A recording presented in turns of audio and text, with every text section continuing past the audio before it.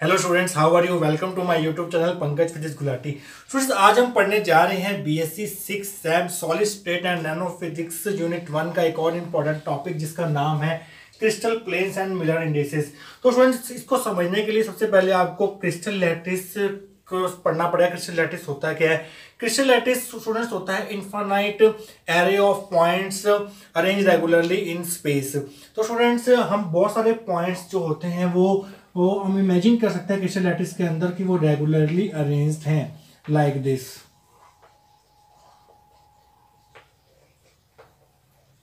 आप बहुत सारे पॉइंट्स ड्रॉ कर सकते हैं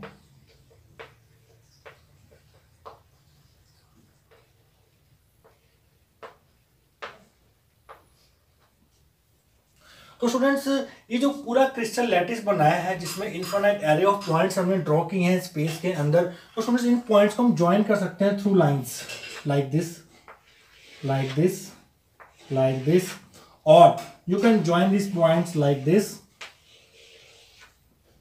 और you can join this points like this अगर आप इन लाइंस को थ्री डायमेंशन में एक्सटेंड करके देखेंगे तो ये आपको प्लेन्स की तरह नज़र आएँगे। मीन्स हम ये कह सकते हैं कि जो क्रिस्टल लैटिस होता है, वो different set of parallel plane से मिलके बना होता है। देखिए स्टूडेंट एक सेट आपको ये नज़र आ रहा है क्रिस्टल प्लेन्स का, एक सेट आपको ये नज़र आ रहा है, एक सेट ये नज़र आ रहा है। यहाँ पर आप बहुत सारे सेट बना सकते हैं लेटिस प्लेन्स के, जो कि लेटिस पॉइंट से पास होकर गुजरेंगे। स्टूडेंट्स हम सब जानते हैं एक क्रिस्टल लैटिस जो होता है, वो एनाइसोट्रॉपिक होता है मींस उसकी जो फ़िज़िकल प्रॉपर्टीज़ होती हैं लाइक मैकेनिकल इलेक्ट्रिकल ऑप्टिकल वो डिफरेंट डायरेक्शंस में डिफरेंट होती हैं मींस इस डायरेक्शन में कुछ और होंगी, इसकी फ़िज़िकल प्रॉपर्टीज़ क्रिस्टल लैटिस की, इस डायरेक्शन में कुछ और होंगी, इस डायरेक्शन में कुछ और होंगी। तो इतनी सारी डायरेक्शन के अलॉन्ग इसकी प्रॉपर्टीज़ को स्टडी करना मुश्किल रहता है तो हम क्या करते हैं स्टूडेंट्स एक set of crystal lattice planes choose कर लेते हैं। एक लेटिस प्लेन्स एक लेटिस प्लेन के अलोंग जो उसकी प्रॉपर्टीज़ होंगी और जो उसके पैरल सेट ऑफ़ प्लेन्स होंगे, उसके अलोंग भी स्टूडेंट्स वो प्रॉपर्टीज़ सेम रहेंगी। तो स्टूडेंट्स इसलिए हमें क्रिस्टल प्लेन्स को स्टडी करना ज़रूरी होता है। अब बात ये आती है कि इन क्रिस्टल प्लेन्स की ओरिएंटेशन और डायरेक्शन को कैसे स्पेसिफाई किया जाए। तो स्टूडेंट्स इसके लिए मिलर नाम के एक फिजिस्ट ने एक मेथड इंट्रोड्यूस किया था, जिसको हम बोलते हैं Miller indices Miller indices basically three numbers का सेट होता है, जो क्रिस्टल प्लेन्स की ओरिएंटेशन और डायरेक्शन के बारे में हमें जानकारी देता है। तो उन मिलर इंडिसेस को स्टडी करके हम क्रिस्टल लैटिस की डिफरेंट फ़िज़िकल प्रॉपर्टीज़ को स्टडी कर सकते हैं। तो स्टूडेंट स्टार्टिंग में अगर आपको पेपर में एग्ज़ाम में क्वेश्चन आएगा कि what are crystal planes and Miller indices तो स्टार्टिंग में आप क्या लिख के आएँगे? आइए वो देख लेते हैं एक बार। तो स्टूडेंट आप स्टार्टिंग में क्या लिख के आएँगे? आइए वो देख लेते हैं। A crystal lattice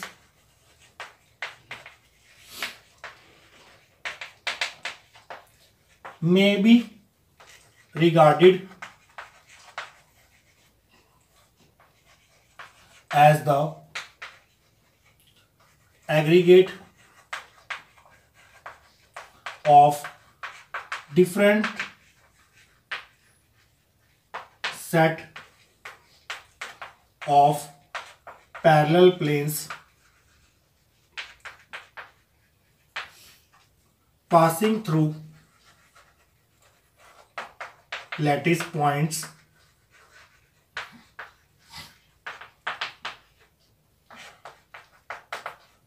Such that each set of parallel plane has particular orientation and direction with reference to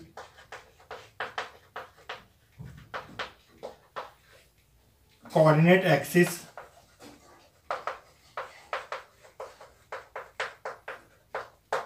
तो ये है स्टूडेंट क्रिस्टल प्लेन्स की डेफिनेशन तो a crystal lattice may be regarded as the aggregate of different set of parallel planes passing through lattice points इसका क्या मतलब है? Crystal lattice को हम ये मान सकते हैं कि वो बहुत सारे ऐसे पैरल प्लेन से मिलकर बना होता है जो कि डिफरेंट लैटिस पॉइंट से पास हो रहे होते हैं।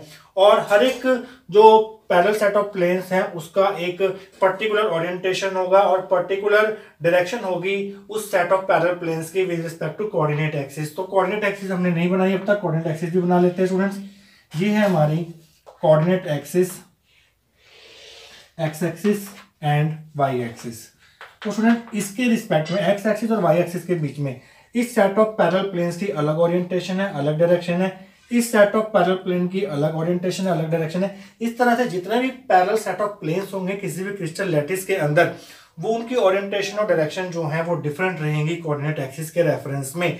तो स्टूडेंट्स हम जो different set of parallel planes हैं, उनको चूज़ करने के जो मेथड्स हैं, वो बहुत सारे हो सकते हैं। जैसे मैंने आपको कुछ मेथड्स यहाँ ड्रॉ करके दिखाए हैं। क्रिस्टल प्लेन्स जो पैरल होंगे एक दूसरे के, उनको चूज़ करने के दो तीन मेथड मैंने यहाँ शो कर दिए ऐसे आप बहुत सारे parallel set of crystal planes choose कर सकते हैं। तो स्टूडेंट्स आगे क्या थ्योरी में लिखेंगे आप? आइए वो देखते हैं। Lines shown in figure will appear as planes when geometry is extended to three dimension. ये जो लाइंस आपको नज़र आ रही हैं, ये प्लेन्स ही हैं बेसिकली अगर आप इसको थ्री डायमेंशन के नज़रिए से व्यू करते हैं तो। तो स्टूडेंट्स अब प्रॉब्लम ये है the problem is how to designate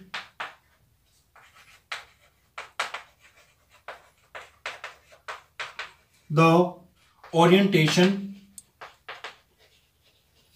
and direction of these parallel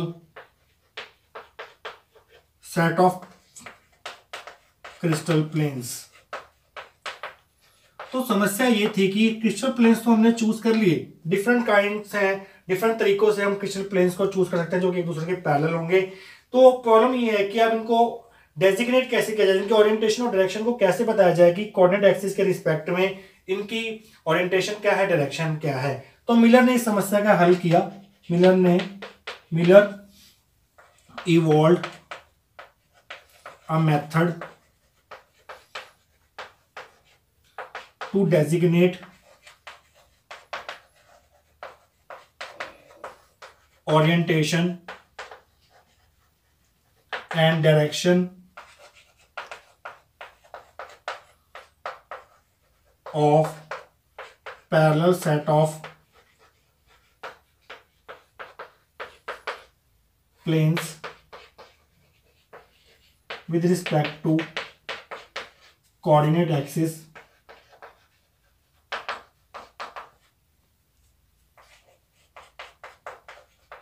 by three numbers और हमको इंटीजर्स भी बोल सकते by three integers called Miller indices in parallel set of crystal planes की अगर आपने ओरिएंटेशन बतानी है डायरेक्शन बतानी है coordinate axis X Y Z की टर्म्स में तो मिलर ने क्या किया? एक मेथड दिया, चार स्टेप का वो मेथड है। जिससे हम वो तीन नंबर्स फाइंड करेंगे, जिनको हम मिलर इंडिसेस बोलते हैं, जो कि किसी भी parallel set of crystal planes की ओरिएंटेशन बताएगा हमें, और उसकी डायरेक्शन भी बताएगा कि उसकी ओरिएंटेशन क्या है और डायरेक्शन क्या है with respect to coordinate axis तो स्टूडेंट्स आप ये भी लिख के आएँगे। इसके बाद आप वो स्टेप्स लिखेंगे, जिसके थ्रू हम किसी भी पैरल सेट ऑफ़ प्लेन के मिलर इंडिसेस फाइंड कर सकते हैं। अब हम steps one by one study करेंगे। और स्टूडेंट देखते हैं स्टेप्स वो स्टेप्स जो किसी भी प्लेन के इंडिसेस फाइंड करने फाइंड आउट करने के काम आते हैं तो बेसिकली हमारे पास चार स्टेप्स हैं। स्टेप नंबर वन क्या है? स्टेप नंबर वन में आपने क्या करना है? किसी भी क्रिस्टल लेटिस के अंदर किसी भी पॉइंट या एटम को ओरिजिन मान लेना है और वहाँ से आपको तीन एक्सिस कंस्ट्रक्ट करनी है।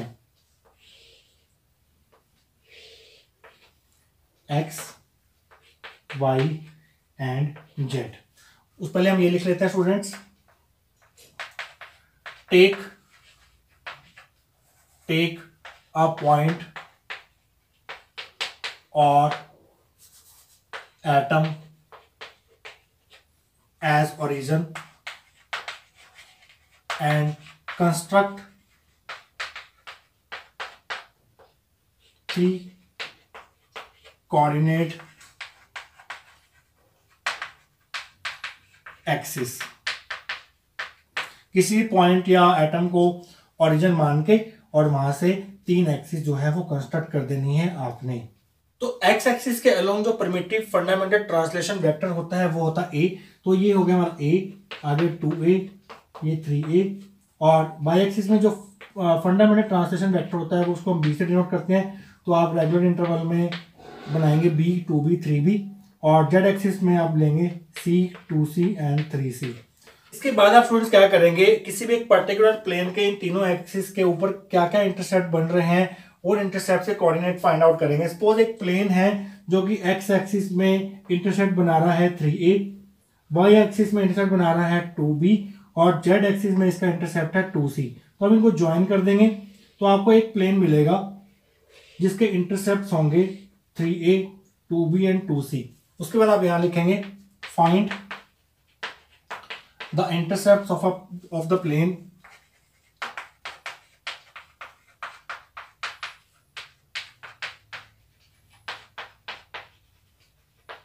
along three axis. Along the three coordinate axis.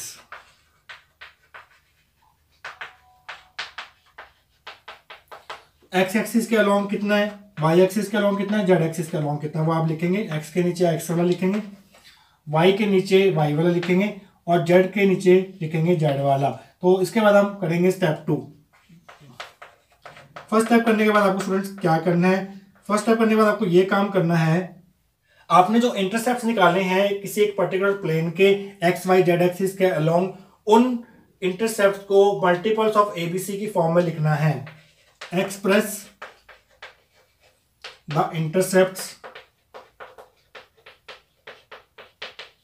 as multiples of a, b and c.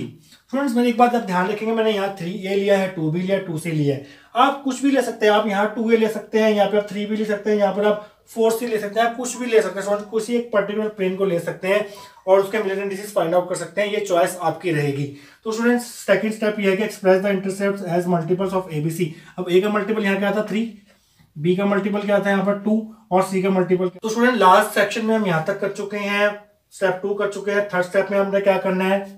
Take reciprocals of intercept third step बहुत ही सिंपल है। सेकंड स्टेप में हमने जो नंबर्स फाइंड आउट किए थे थ्री टू टू इनका रेसिप्रोकल ले लीजिए। तो ये है स्टूडेंट स्टेप थ्री अब बच्चा हमारे पास स्टेप फोर अब वो देखते हैं उसमें हमने क्या करना है। तो स्टूडेंट स्टेप फोर में आप क्या करेंगे? Reduce reciprocal of intercept into smallest set of integers.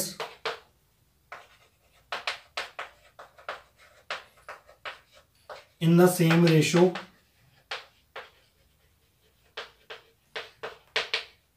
by multiplying with their LCM.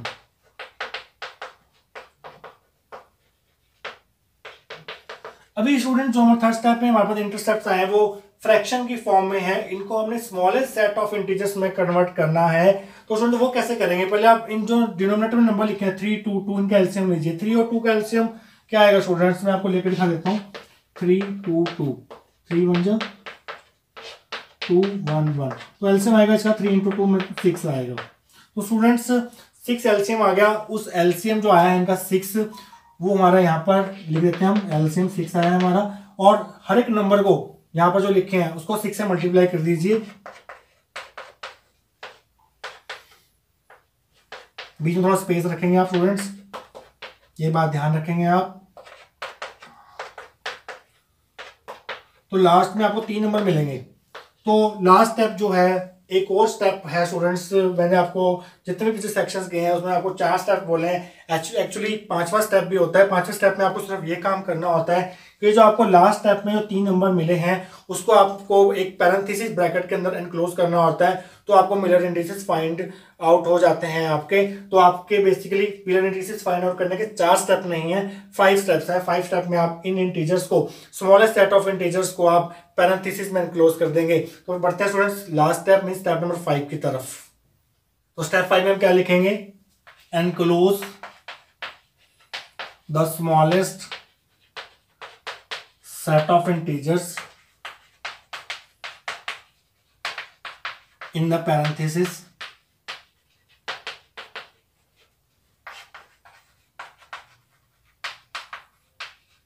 And we will get Miller indices. So, Miller indices are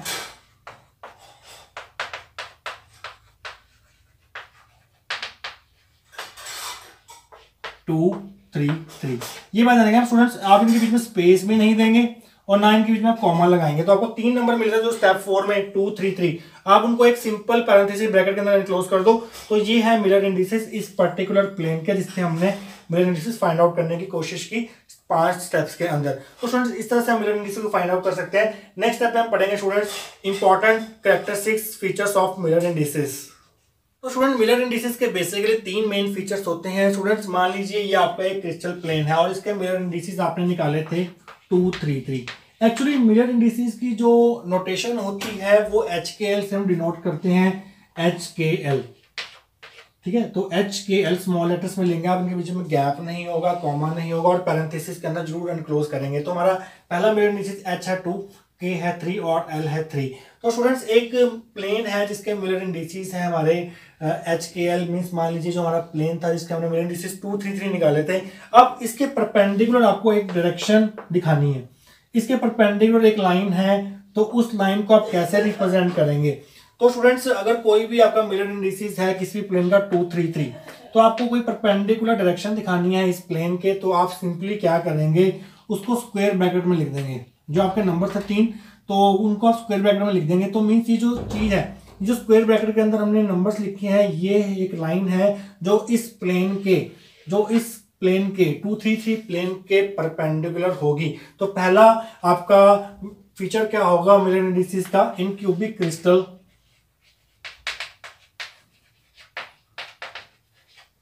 The direction. Perpendicular perpendicular to HKL plane is represented by this. Parenthesis को आप square bracket में change कर दो तो ये जो आपको मिलेगा, ये वो डायरेक्शन है जो इस प्लेन के परपेंडिकुलर होगी। तो मान लीजिए इसको हम, ये जो हमारा मिला है that is H K L is the line perpendicular to plane H K L तो स्टूडेंट ये है पहला इंपॉर्टेंट फीचर मिलर इंडिसेस का। तो हम बढ़ते हैं अब next important feature of Miller indices की तरफ़। तो स्टूडेंट सेकंड फीचर क्या है मिलर इंडिसेस का? कि अगर आपके मिलर इंडिसेस जो है, अगर सिंगल डिजिट में आते हैं, जैसे अभी हमने पीछे एग्जांपल पढ़ा था, इस प्लेन के जो मिलर इंडिसेस निकलते हैं, वो टू थ्री थ्री आते हैं। Two three three are all are single digits तो इसके बीच में कॉमर्स नहीं लगाएँगे। तो सर कई बार आपके प्लेन्स ऐसे भी होंगे जहाँ पर जो आपके मिलर एंड आएँगे, वो टू डिजिट्स में आएँगे। मान लीजिए जो एच की वैल्यू आती है, वो टेन आती है के की वैल्यू फाइव आती है एल की वैल्यू आपकी फिफ्टीन आती है। तो उनके बीच में आप कॉमर्स लगाने ज़रूरी रहेंगे। तो स्टूडेंट सेकंड इंपॉर्टेंट फीचर क्या है? No commas are introduced in between the indices of single digit. The single digit हमारे पास मिलर इंडिसेस निकले two three three that is two three two यहाँ गलती से कॉमा लग गया. टू थ्री थ्री तो आप सिंगल डिजिट वाले इंडिसेस को आप सिंपल पैरेंथेसिस में विदाउट कॉमर्स विदाउट स्पेसिंग आप इनको लिखेंगे. बट अगर टू डिजिट्स वाले आते हैं तो आप कैसे लिखेंगे? आइए वो देखते हैं. But when Miller indices of a plane are of double digit बहुत सारे प्लेन्स होते हैं क्रिस्टल लैटिस के अंदर। कईयों के जो मिलियन डिजिट निकलेंगे वो डबल डिजिट में भी आ सकते हैं। Double digit these are separated by commas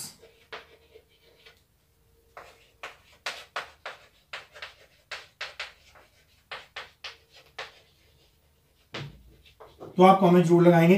तो मान लीजिए ये जो मैंने एग्जांपल लिया था, मान लीजिए कि कोई एक प्लेन है, उसके मिलियन नीचे टेन फाइव फिफ्टीन आ रहे हैं तो उनको आप कैसे लिखेंगे? Ten comma five comma fifteen तो आप उनको ऐसे लिखेंगे। तो ये है student second important feature of million indices बढ़ते हैं last important feature of million indices की तरफ़। तो तीसरा इंपॉर्टेंट फीचर क्या है मिलियन इंडिसेस का? स्टूडेंट मैं आपको दो मिलियन इंडिसेस लिख रहा हूँ और आपसे एक बात पूछूँगा।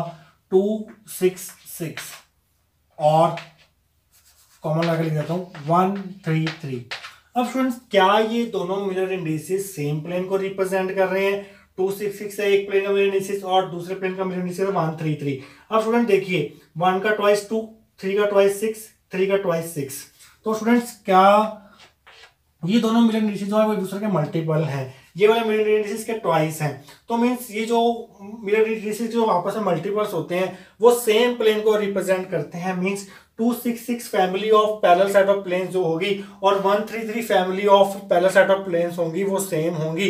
तो स्टूडेंट्स ये चीज़ आप ध्यान रखेंगे। तो आप इसमें क्या लिखेंगे? थर्ड पॉइंट के अंदर। यहाँ पर टू का मल्टीपल था, वहाँ पर थ्री का मल्टीपल भी हो सकता है। तो स्टूडेंट आप इसमें क्या लिखेंगे? आइए वो देख लेते हैं। The Miller indices third feature है ये, जो आप एग्ज़ाम में लिख के आएँगे। टू सिक्स सिक्स आप कुछ और भी ले सकते हैं, पर एक दूसरे का मल्टीपल लीजिएगा मिलर इंडिसेस में। रिप्रेजेंट्स द सेम प्लेन तो स्टूडेंट जब आपको क्वेश्चन आएगा मिलर इंडिसेस का मिलर इंडिसेस क्या होते हैं, कैसे फाइंड करते हैं तो ये चार छह नंबर का आएगा तो आपको तीन फीचर्स भी साथ में आपको ऐड करने पड़ेंगे। तो स्टूडेंट्स ये था मिलर इंडिसेस और इसके इंपॉर्टेंट